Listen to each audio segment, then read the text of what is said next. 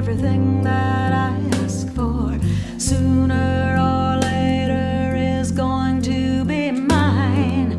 The passion and grace that guide my direction. With forces begin to align, finding our heart's deepest desire on our journey across the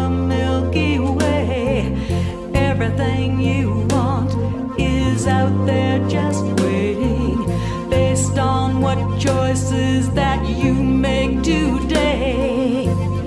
You can manifest your own destiny any time of the day or night, asking for what you want, respectfully guided by what feels right.